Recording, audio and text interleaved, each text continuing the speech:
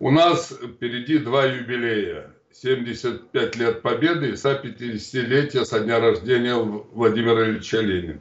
Я специально публиковал, они вывешены на сайте, вышли в «Правде» и «Советской России» два материала. «Великая победа советской цивилизации» и «Идейное наследие Ленина и борьба за социализм 21 века». Я очень хотел, чтобы мои друзья и товарищи и в целом познакомились с этими материалами. Они помогут преодолеть многие трудности кризисы, болезни, потому что у нас уникальный опыт, потрясающий опыт преодоления самых больших трудностей, от распада государства, самых сложных болезней до подъема экономики, космического прорыва и наших великих побед. Эти материалы сейчас есть на сайте, поэтому я настаиваю, чтобы мои товарищи, друзья и коллеги внимательно сейчас это изучили, поделились своими близкими, друзьями, обсудили свои ячейки. Сейчас, конечно, нет смысла и нельзя собирать большие собрания. Но в узком кругу сесть с ближними друзьями, обсудить спокойно у себя дома, у каждого есть возможность. Поэтому я хочу, чтобы почитали, изучили и посмотрели, на что особое внимание обратили бы. Вот если взять ленинское наследие, оно вообще-то потрясающее. Распавшаяся империя вдруг собирается на съезде мирно и демократично в новой форме, в форме СССР.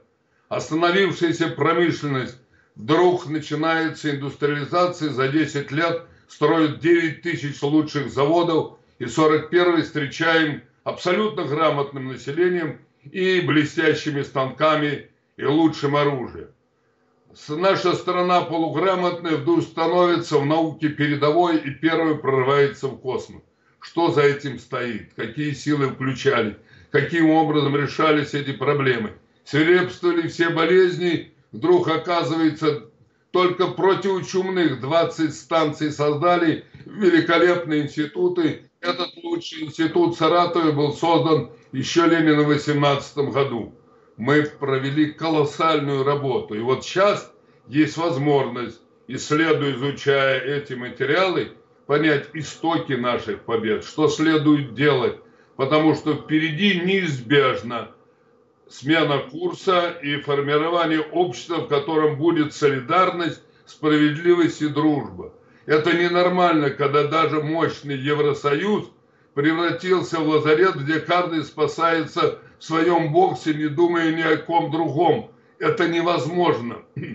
Не случайно мы помогаем и Италии. Кто еще помогает? Китайцы и еще кубинцы, у кого идеология справедливости и коллективизма господствует. Сейчас будет смена курса развития, рождается новый мир. И вот тот уникальный опыт великой советской державы, ленинско-сталинской модернизации, нашей победы и наших открытий будет востребован обязательно. Я очень хотел, чтобы все внимательно изучили эти материалы.